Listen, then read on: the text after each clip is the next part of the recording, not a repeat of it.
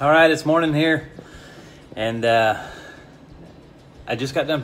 It feels like I just got done playing squash uh, because last night, uh, I guess we got done about I don't know, I think it was seven thirty or something like that, and uh, right now it's five a.m. in the morning. So less than twelve hours later, here I am, uh, dressed and ready to go play racquetball. So, but the good part is that it'll be done uh, for the day. So, and racquetball's fun. So it's not like working out. It's kind of a, a pass on uh, kind of the grunge, uh, the grind of working out. So racquetball's fun.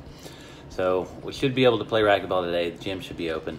I'm on my way right now to play racquetball. So uh, it's about 5 a.m.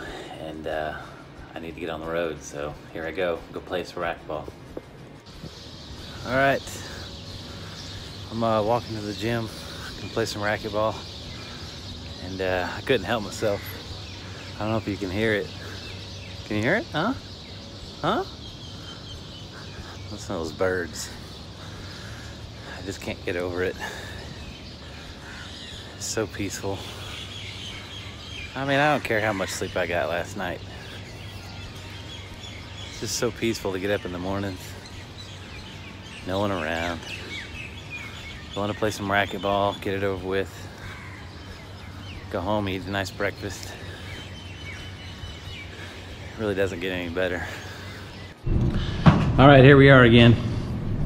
We're gonna play some racquetball this morning. We just got done playing squash, and uh, it's about 5:30. We're gonna play for a good solid hour, and uh, it's good for us because we've got a tournament coming up, so it'll be good practice for us. And uh, you can see pretty practicing in the background there, so better get to it. It's gonna be a good morning.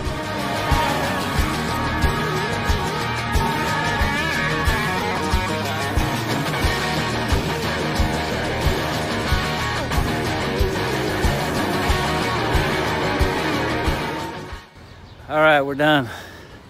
And uh, I don't know, it's a nice little sunrise here. Whew, it was kind of tough playing this morning. I felt uh, dead leg after uh, playing squash last night, but uh, anyway, we played for a full solid hour and got her done. So now I'm gonna go home, rest my body, get a nice little breakfast, and uh, call it a day. So we'll see you guys tomorrow.